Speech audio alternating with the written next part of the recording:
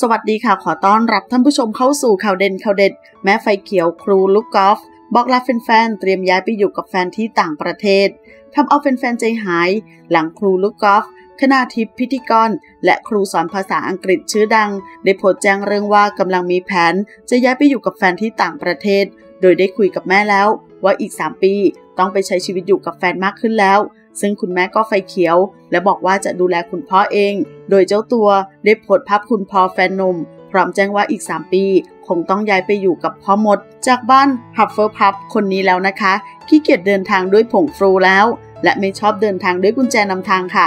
คุยกับแม่แล้วนะคะว่าอีก 3 ปี ต้องไปใช้เวลาอยู่กับพ่อมด จากบ้าน Hufflepuff คนนี้มากขึ้นแล้ว แม่ไฟเขียวและบอกว่าจะดูแลพ่อที่เป็นมักเกิลเอง อย่าถึงขนาดต้องใช้คาถา Obliviate หรือคาถากรีดแทงใส่พ่อเลย เพราะแค่เสียงกรีดร้องของแม่พ่อก็ยอมแล้วค่ะ โชคดีที่มีแม่เป็นสาว Ravenclaw ค่ะแฮชแท็กมีพ่อเป็นมักเกิล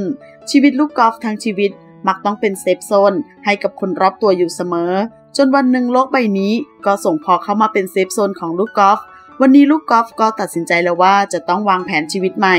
ในหลาย ๆ ด้าน เพื่อให้เราได้อยู่ด้วยกันมากขึ้น เราได้คุยกันแล้ว ว่าพ่อจะไม่มาอยู่เมืองไทยในตอนนี้ ลูกกอล์ฟได้เลือกแล้วว่า คงต้องไปอยู่ลอนดอนมากขึ้นจริง ๆ ตอนนี้มีเวลา 3 ปีในการจัดการทุกอย่างให้ลงตัว รู้สึกตื่นเต้นกับการเตรียมการเดินทางครั้งใหม่ ขอขอบคุณข้อมูลจากข่าวสดขอบคุณค่ะ